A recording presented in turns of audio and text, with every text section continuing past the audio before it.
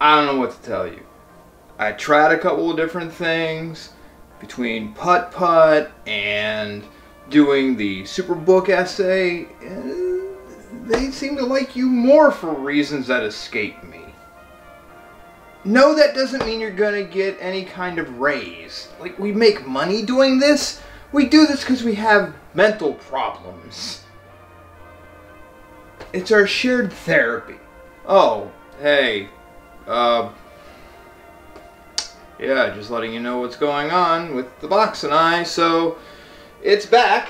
Um, you notice that things look a little different. Uh, the wall is blue.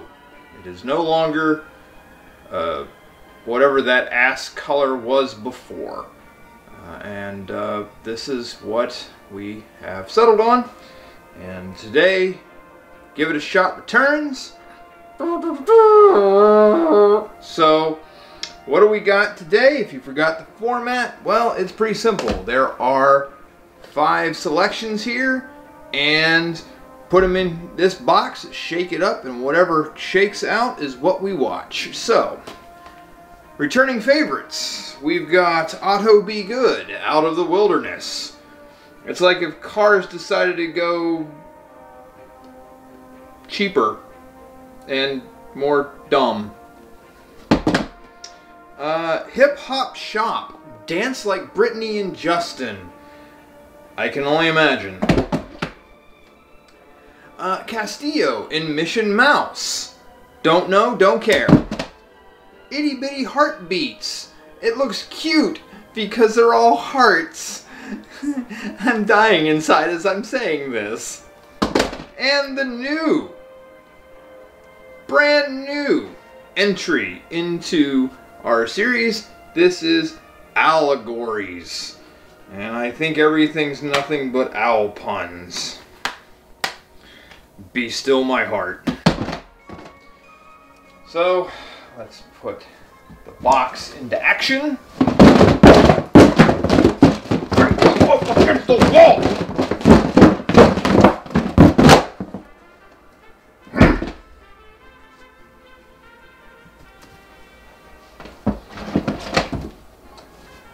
And would you look at that? We're gonna watch Owlegories. you know, sometimes this feels like uh, the price is right. You know, you've got contestants who have been there since the very beginning and they don't make it, and then, you know, the sixth time through, they get the new person, like the last person who has a chance, and they get it automatic, and it's like these other people have had so many attempts and they didn't. You you guys got cheated, but I don't give a shit. God, I hate my life.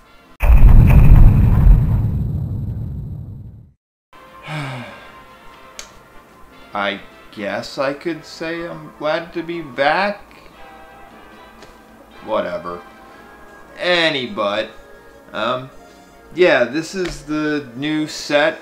Uh, it's still the same room. I just updated things. Uh, my wife and I are working on the house, and it was finally time to take care of the shots room. Uh, and it desperately needed it. Uh, I don't know if any of you ever heard it, but the floor uh, was falling apart. The Previous owners thought it was a really good idea to have uh, peel and stick flooring. But the problem with that is you better keep the stuff um, temperature controlled because if you don't, that stuff wilts. And that was the problem. So like if you heard me like when I was dancing or anything like that, you'd hear like a that was the floor. But now I actually have a nice floor in here, so I'm not constantly grossed out. Uh, grossed out's a little bit of a strong word, but it's nicer in here. New paint. Um, I kind of thought this might serve as a chroma key. I don't know. Let's try it right now. Is it working? Does it look like I'm underwater? I don't know. Um, I'm still working on that part. Um, it's kind of the reason why I went this way, but uh, eh, whatever. I don't mind doing it like this. So, today uh, we got another Christian media piece. I swear, I'm not. I'm not doing this on purpose. It's the luck of the draw, and I've said it before so many times that the bargain bin discount stuff that I find at used media stores, this is the cheapest stuff. I'm not doing this to bash anything. I mean, if you listen to my my Superbook review essay, whatever you want to call it, it's like I'm cool with a lot of it, but you know, sometimes the message is weak. So, transitioning into that is this week. Um, uh, that's kind of hard to say. Um, this is a newer thing. Uh, this is from from not 2014, and uh, it's all about owls. Uh, in case you couldn't figure it out with Owlegories, and you got these five kids who uh, go to school to learn about God through nature. Not a bad premise. It's not the worst thing I've ever heard of, so maybe this will be okay.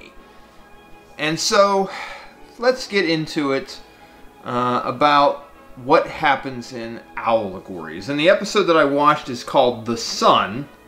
And so the whole idea is I'm, I'm assuming the way that these this entire episode went is this is the very first episode. And so um, in this episode, uh, they're learning about the sun.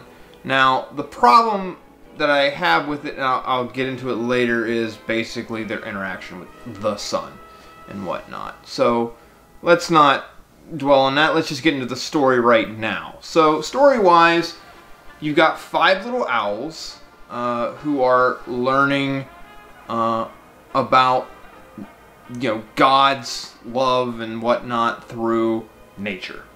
All right, cool.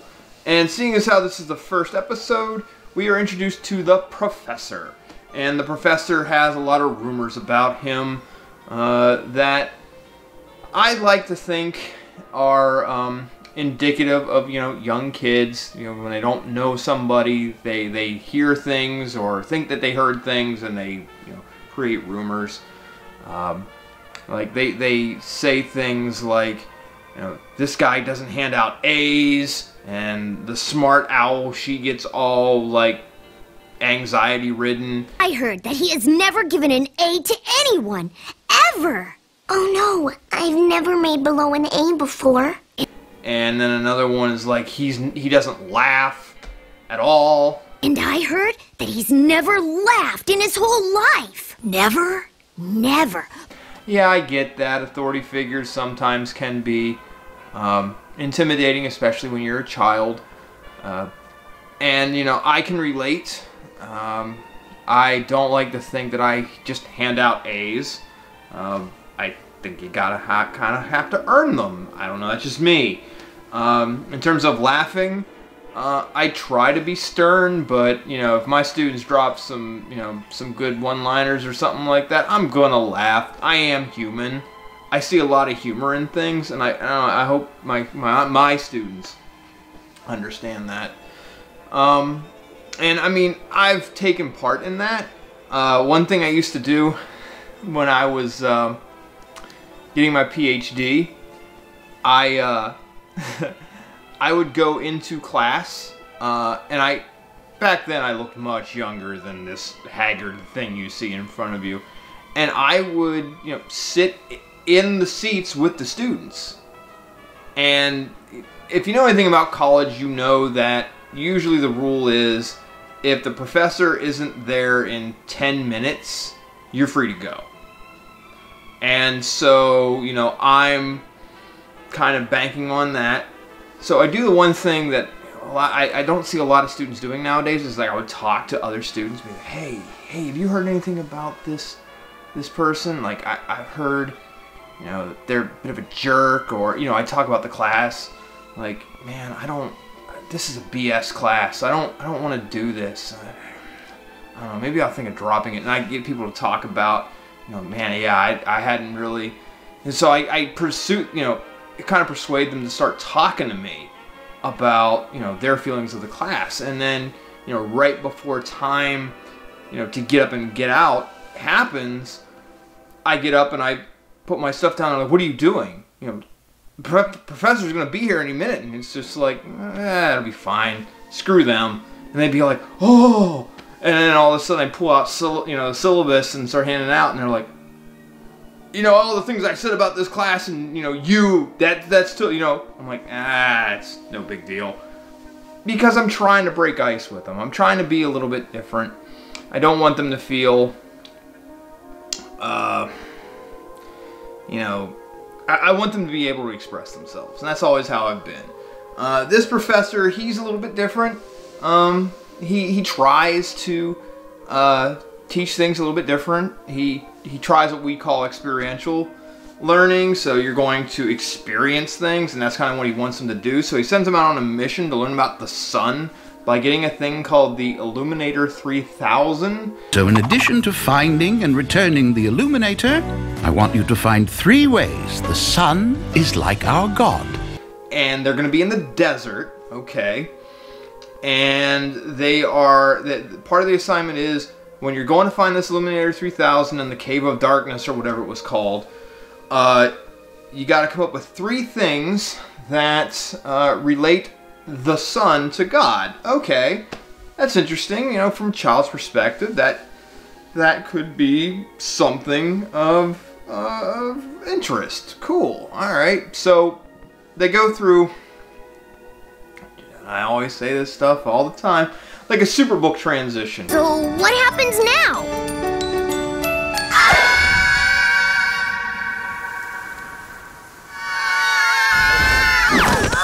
The owl the professor takes them to a door that magically drops them off in the desert. Fine. We're in the desert now because they. I'm pretty sure he, this is just a thing you can do. Uh, and I don't know. I hope in later episodes they kind of explain this door because otherwise it's magic. And I know a lot of people in Christian communities don't care for anything that talks about magic. Uh, like my wife's church really doesn't like Harry Potter. So, yeah, they hope they do something with that. Otherwise, um, I could see some problems. Anywho, uh, they go through the deserts, and there has to be some sort of antagonist in this, right? So there is this owl who's a bit of a jerk, and he has a little lackey who's a hummingbird. This owl has no clue what the Illuminator 3000 is, but he knows, hey, I gotta have it okay, fine. So he goes out there and he's like, well, hey, I hear you're looking for something. And they're like, yeah, we sure are. I understand you're looking for the Illuminator 3000. We sure are. We know it's in the Cavern of Darkness, but we don't know where the cavern is. And he points them like, well, it's over that way to go get it and whatnot. So they go and get it, and it's really not that hard to get. Um, and the one sort of funny thing happens the the the really small owl. I, I think I think his name was Twitch. Um, he gets thrown into the cave and he bounces around like a pinball and you know causes you know breaks the stone enough that the light comes in and so they can see what they're doing. Uh, like that was kind of funny, um, but everything else not so much. Um, and you know they get the Illuminator 3000 with this high drama. Oh, that's the Illuminator 2,999. They're like, oh, and it's like, oh, here's the 3,000. Hooray! Like, that's not a joke. I, I, I, I j- just on that alone, I, I, I have to take a shot because that's not funny. I know you're trying to be funny with that joke, but it's not funny. It, and you try to, if it was supposed to create drama, it didn't. Now the only drama I've got is taking this. This happens to be um, Sprecher Charged Lemonade. Now I know Sprecher for root beer. I have no idea what they might do with lemonade. but it's charged, so there's a lot of caffeine in this probably, and I'm going to die. But, oh well. One killing joke for another.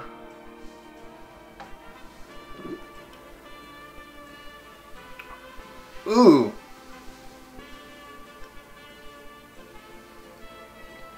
Oh, that is some lemon.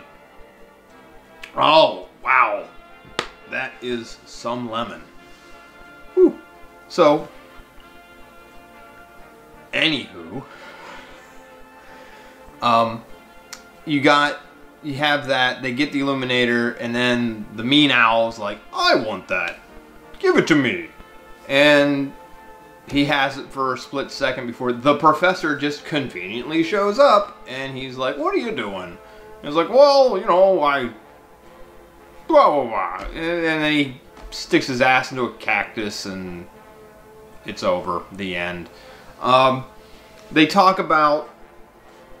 Uh, they, they do try and talk about God being like the sun, and they manage to do that assignment Whoopity doo. He's powerful like the sun, and his words give us light to guide us. It's like, oh, okay, we learned a thing.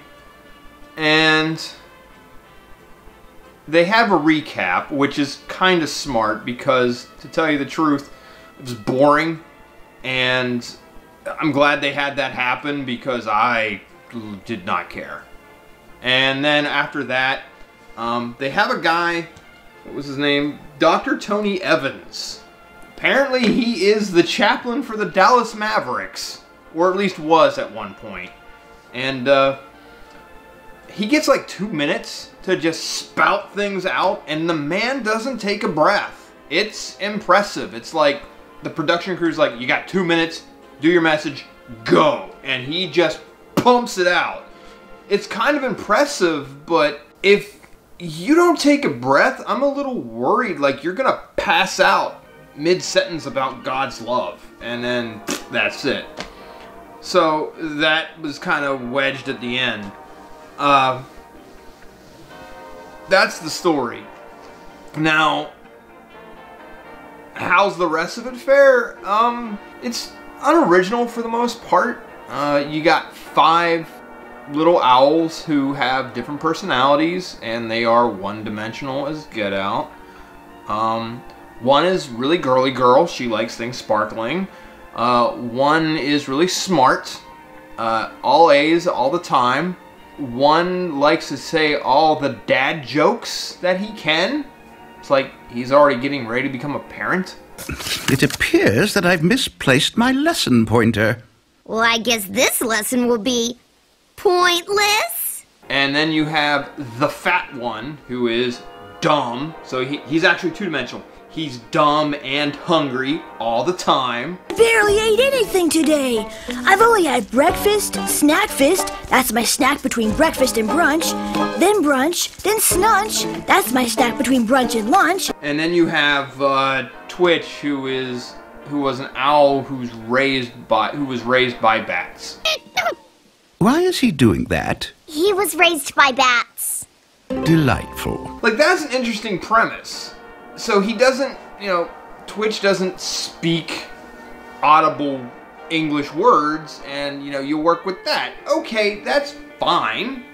Um, but you know they don't take it any further, at least not in this episode, and that kind of bums me out. Um, the professor, he's you know you know, soft spoken and, you know, I'm smart. Students, we begin every class with the Owl Pledge. Let's begin. And then you've got the villain who's just a villain because, I mean, he doesn't really have any motivation, at least nothing that I see, of like, I, ooh, that professor, he flunked me a long time ago and I don't care for him or anything like that. He's just, I want the Illuminator because they want it like, oh, oh, okay, that that's a weak premise, but fine. Uh, so I don't know, just bland. Nothing about this really pops out at me aside from the fact that this animation is kind of janky. Um, it's like everything kind of starts and stops like I get it. Owls kind of move that way, but like I don't think that was a creative decision that they had. I think they were just working within the budget that they possessed. Because uh, it's it, it's not. I mean, it doesn't look ugly. The designs are fine, but the the herky jerkiness of the characters uh, kind of just don't work for me. And like I say, when you add in the fact that the story makes them all kind of one-dimensional, like one's the smart one, one's the funny one, one's the dumb one, and the you know the hungry fat guy. I'm not I'm not invested uh, at all because um, I know I can't pull off like um, this kid, like this. I will never be that excited for anything. Um. Oh, that explains it. Because I think if these are the people who created it, which um, I'm kind of getting the uh, impression. Uh, yep, they are the creators. I'm kind of like with the baby at the bottom. Um, he is totally disinterested. I'm kind of the same way. Um, oh, oh, they are forcibly smiling in ways that are wholly uncomfortable. That that's not good. I'll try to get a better image of that. That I don't know why people feel the need. You're trying so hard and you don't need to. It's like it's okay to look disinterested in life. I'm the same way. I never look interested for anything. Hell, I remember when I got my doctorate and my committee was like, Congratulations, Dr. Miller. And they're all smiling and clapping and they're like, Hey, you should smile. And I'm like, I am. And the only person who got it, well, uh, in the room, I should say, because I had a couple who were Skyping from Canada at the time. They're like, that, that, he's excited, trust me. And it's true. I don't, outside of like you know, the ranting that I do, I don't get wound up about things. There's no real point. So, like they're they're faking so hard it hurts. Um, is this worth anything? Not really.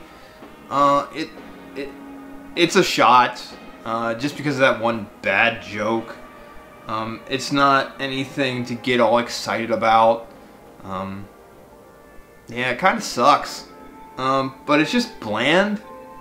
Like, I'm not gonna remember any of this. Oh, there is one point I should I should make. Um, one of the characters' names is Nora, and Nora does this little bit. I will say this: this is probably the most creative thing that's done in the entire episode.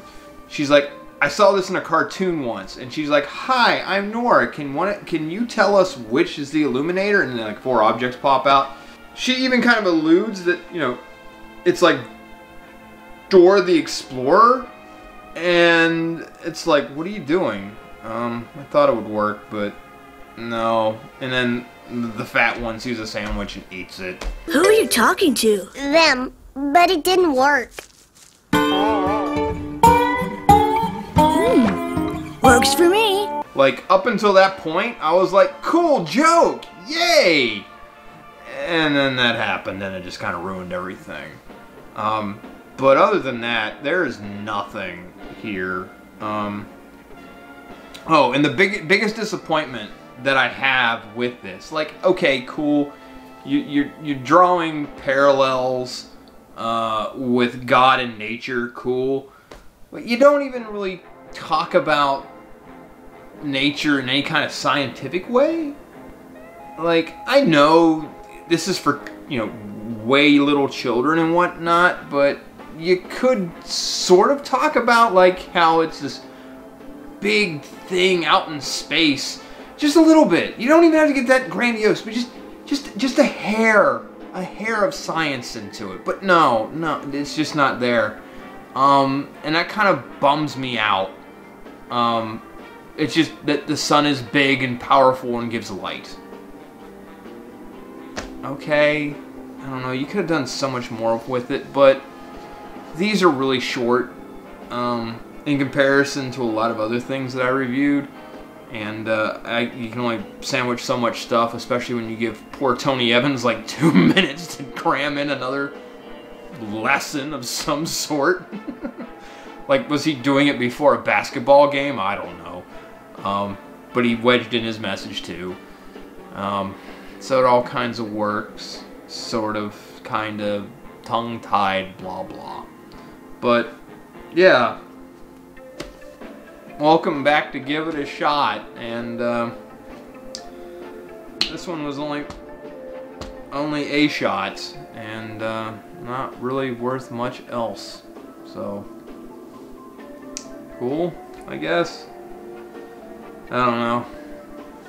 I don't know if the fish are still back there or not, and hopefully next time we'll have that figured out. Maybe I don't know. Fuck it. What pro- what's production? You know, quality around here? I don't have it. I don't know it. I just do things and people think it's funny. I'm a sad man. So until next time, party people. Toodles.